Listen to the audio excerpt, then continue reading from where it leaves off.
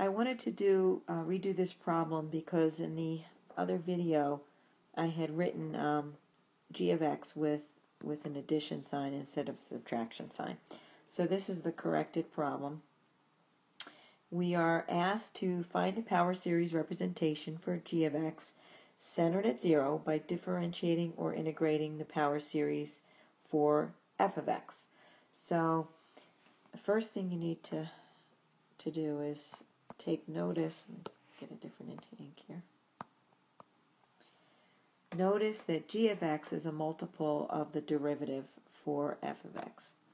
So you really want to examine f of x and see if you can get to g of x by taking the derivative or by integrating.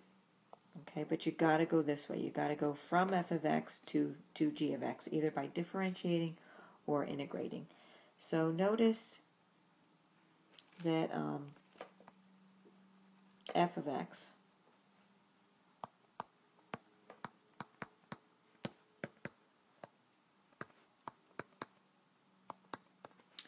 um, or that g of x rather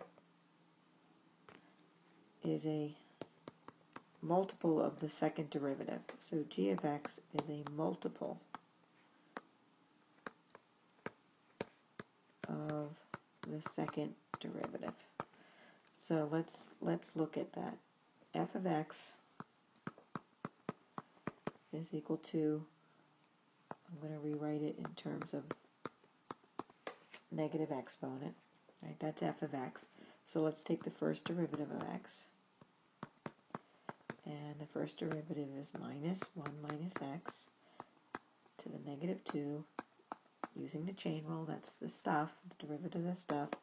So this becomes 1 minus x to the negative 2. The second derivative is negative 2, 1 minus x to the negative third power. Again, applying the chain rule, we end up with 2 times 1 minus x to the negative third power, which is simply 2 over 1 minus x cubed. So we've got a multiple of g of x. So let me summarize that for you. So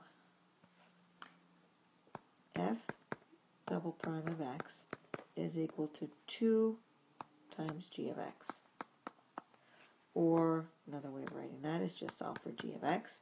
g of x is the second derivative of f divided by 2. So we're going to use that relationship in order to come up with the power series representation. The second thing here that we want to um, examine is manipulating the power series directly.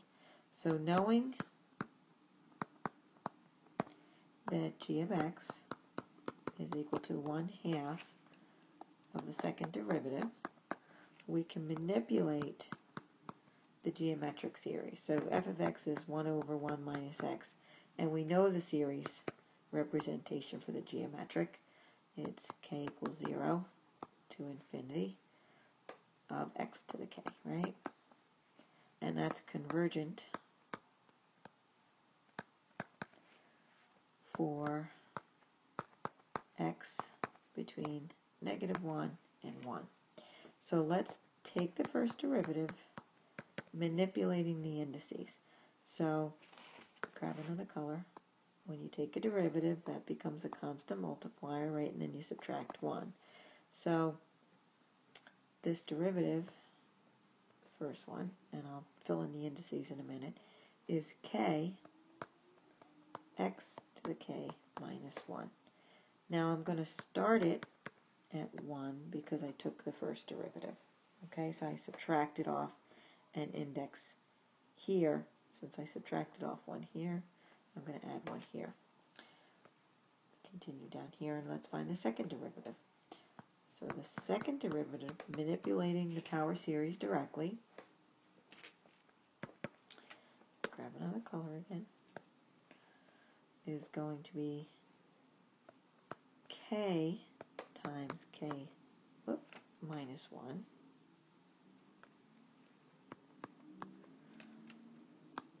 times x to the k minus 2.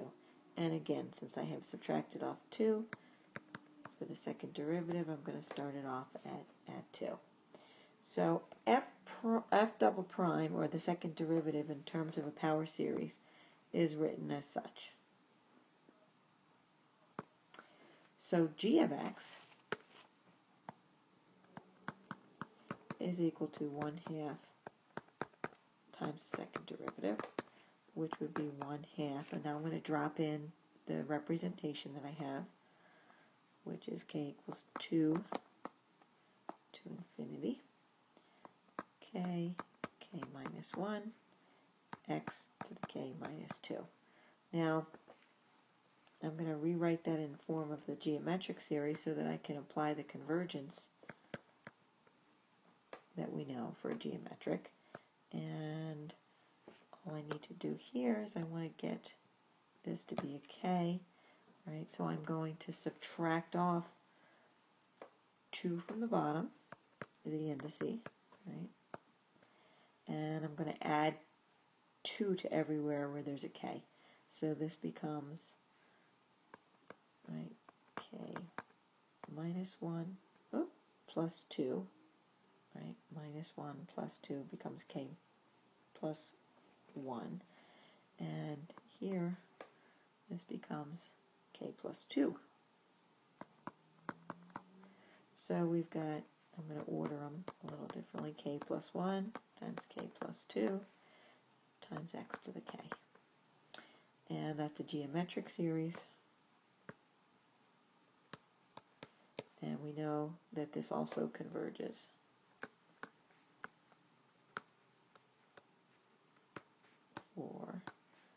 for negative 1 to 1.